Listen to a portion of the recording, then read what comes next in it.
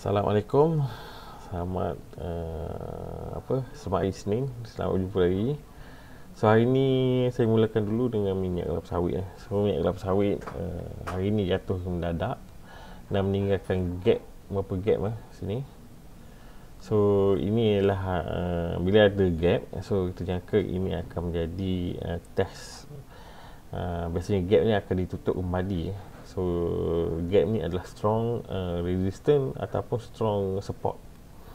So kita tengok dulu hari ni dengan uh, kita start dulu tengok dengan candle. So candle merah masih bearish correction eh. So kita tengok uh, apa uh, tengok hollow candle, hollow candle merah juga Kanashi. So Kanashi pun merah juga eh. Masih lagi dalam correction tapi kita nak tengok correction tu correction apa? Uh, kita tengok point figure daily masih lagi correction ok so bar balik kita tengok dulu indicator trend apa jadi pada indicator trend. So indicator trend masih lagi bawah paras kosong. So ini nak trickiness kita nak tengok ni sebab apa kita tengok sekarang ni adalah trend uh, ada bawah kosong. Dan juga kita tengok momentum juga baru saja uh, turn down eh. turn down pada hari Jumaat itu hari belanjawan dan juga hari ni terus jatuh ke bawah. Sorry. Ok so ni trend uh, bawah zero. So daily kita mark bahawa seni adalah daily masih lagi uh, bearish So pada awalnya kita ingat dia nak naik lah. Tapi tidak. Okay So Bear in mind Kita kena hati-hati sikit Sebab apa uh, Berapa possibility untuk berlaku eh. Berlaku dari the strength ni Momentum masih lagi dalam keadaan uh, Bearish. So hari ni turun melepasi paras 50 Bawah 50 So momentum bearish uh, Trend pun sedikit, uh, sedikit bearish Stickiness lah. Sebab di sini So trickiness ni nampak eh ni naik rupanya naik hanya sekejap je dan masih lagi nak turun ke bawah. Okey. Selain itu kita juga yang weekly nak tengok weekly ni masih bullish ke masih bearish. Okey, weekly actually masih lagi bullish. Weekly bullish manakala momentum weekly pun baru sahaja nak start naik.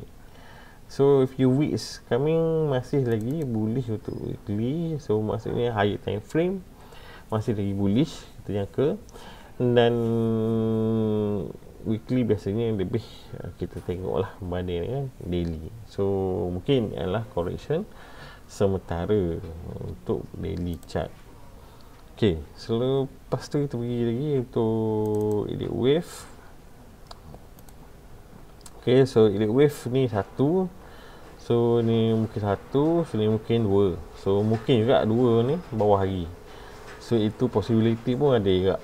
Okay Dengan syarat Kalau dia pecah 2, 1, 1, 9 ni Dia jangka dia akan buat Y lagi Ke bawah Bagi wave 2 Tapi selagi dia belum pecah uh, 2, 1, 1, 9 Pecah tu maksudnya tutup di bawah 2, 1, 1, 9 Kalau tutup dia Walaupun intraday dia pecah Tapi dia naik kembali Kita tak consider sebagai dia Strong untuk pecah Okay, so dia kena tutup tu adalah paling penting. Alright, seterusnya kita tengok yang ni satu, so ni mungkin dua sini. Dan ni adalah mungkin permulaan wave satu untuk wave tiga. Ha, mungkin wave satu, wave tiga. Mungkin sini satu. So ni mungkin dua. Okay, so ni correction, masih lagi dalam correction eh. Dan correction, kita menyangka untuk harga ni terus turun uh, apa tu masih lagi dalam correction deep correction eh. Kita nampak semenjak hari Jumaat. So hari ni terus berterusan turun ke bawah. Dan kita tengok dahulu kemungkinan-kemungkinan untuk harga ni masih lagi dalam correction selepas dia complete pada uh, hari Jumaat lalu itu wave 5 eh. so sub wave 5 ok pada hari Jumaat lalu saya ingat mungkin uh, saya check balik Okey, ni dua, tiga, empat. Okey, so ni mungkin sini dua. Okey, so ni mungkin tiga, okey empat dia juga. Okey lima pun boleh jadi. Okey, untuk ini okey dan juga mungkin uh, pada awalnya kita jangka untuk naik lebih tinggi tapi meleset apabila hanya sekadar membuat uh, naik tidak melepasi paras lebih tinggi okay.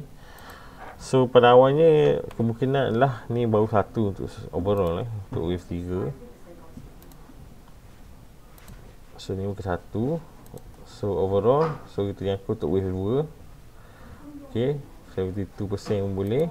Dan kita jangka untuk wave 3 dan wave 3, 4, 5 so ni jatuh kita tahu lebih awal bahawa ni ni complete 5 so ni naik apa yang naik adalah untuk correction sebenarnya eh.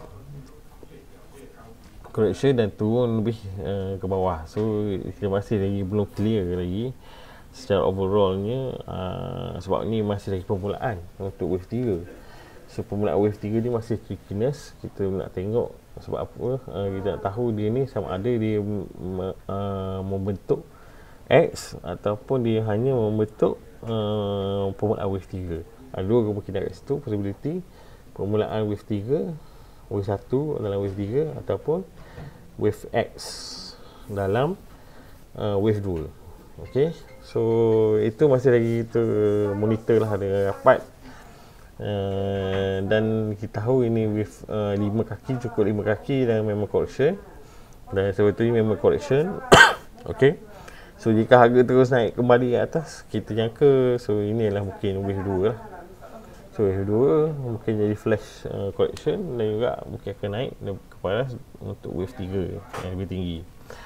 Okay So ini correction Kita biasanya takkan trade pada correction So kita jangka untuk uh, tunggu correction complete. Especially daily Ada reversal daily eh. So daily reversal tu adalah paling penting.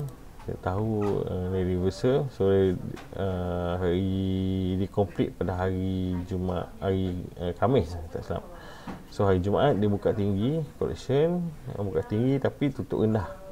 Buka tinggi tapi tutup rendah ini adalah reversal pattern lah atau reversal pattern dan masih lagi yang correction so kita tunggu correction uh, complete barulah kita cari untuk buy position eh.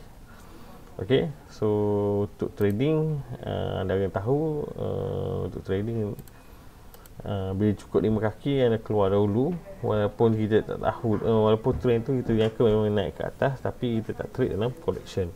So kita tunggu untuk wave uh, 2 ni complete kemungkinan wave 2 ni complete dan kita nak tengok sama ada dia ni uh, membuat reversal especially daily eh. daily penutup tu paling penting barulah kita cari untuk buy position. Ok so saya rasa itu saja dulu untuk correction memang tidak digalakkan masuk sebabnya trend masih lagi bullish ya. trend masih lagi bullish kita hanya cari buy position satu arah saja untuk trade yang lawa arah hati-hati sikit boleh trade tapi ada pula uh, master elite wave dan tahu wave C tu uh, di mana dan tahu untuk exit uh, apa keluar tu di mana kerana counter trend ni lebih berisiko. Okey, sekian dulu daripada saya untuk uh, kali ini. Nanti saya update lagi. Assalamualaikum.